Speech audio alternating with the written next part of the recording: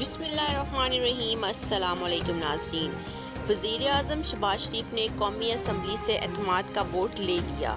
وزیر اعظم شباز شریف نے قومی اسمبلی سے اعتماد کا ووٹ حاصل کر لیا ہے، انہیں ایک سو اسی اراکین نے اعتماد کا ووٹ دیا ہے۔ نیوز کے مطابق، وزیر اعظم شباز شریف نے قومی اسمبلی میں اعتماد کا ووٹ حاصل کر لیا، اس پر ایوان کے ایک سو اسی ارکان نے اعتماد کا اظہار کیا۔ رائے شماری کے بعد اسپیکر قومی اسمبلی راجہ پرویز اشرف نے نتیجے کا اعلان کیا۔ اس سے قبل قومی اسمبلی کا اجلاس اسپیکر راجہ پرویز اشرف کی زیر صدارت شروع ہوا تو وزیر خارجہ اور P P P chairman Bilawal Bhutto Zardari نے قومی اسمبلی سے اعتماد کا ووٹ لینے کی کردارداد پیش کی۔ جس پر اسپیکر نے کہا کہ ایوان میں اعتماد کے ووٹ کی قرارداد پیش ہو چکی ہے۔ اس لیے ارکین اعتماد کا ووٹ کے لیے اپنی نشستوں پر کھڑے ہو جائیں۔ قومی اسمبلی نے وزیر اعظم پر اعتماد کی قرارداد منظور ہونے اور اسپیکر کی جانب سے نتیجے کے اعلان ہونے کے بعد شباز شریف نے فردن فردن ہر رکن کی نشست پر جا کر ان کا شکریہ ادا کیا۔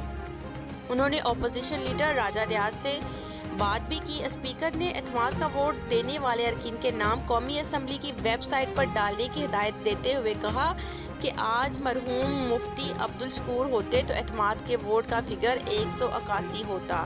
مزید ویڈیوز کے لیے چینل کو سبسکرائب کرنا مت بھولیں۔ ابھی تک کے لیے اتنا ہی۔ اللہ حافظ۔